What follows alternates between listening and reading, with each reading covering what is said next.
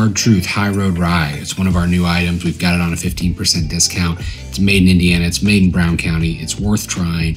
It is literally a tropical fruit, one of the fruitiest rye whiskeys I've ever tasted.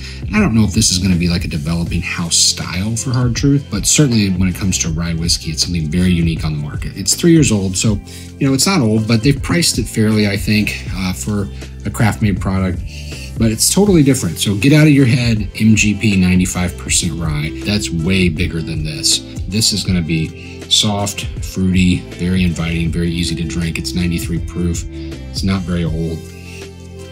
You definitely get a mixture of tropical fruit. You get apples, peaches, pears, apricots, all of that. And a little bit of sort of light drying spice, a little bit of leather as well in the nose. Let's take a sip. It kind of skims the palate. It doesn't really set in, but I'm okay with that because what it's leaving behind is that leather, that fruitiness, and then just like kind of a, again, a touch of the spice, but not huge rye spice, very light rye spice, very fruit driven. So they've really gotten something different out of the grain. It's more driven by the yeast, um, but I like it.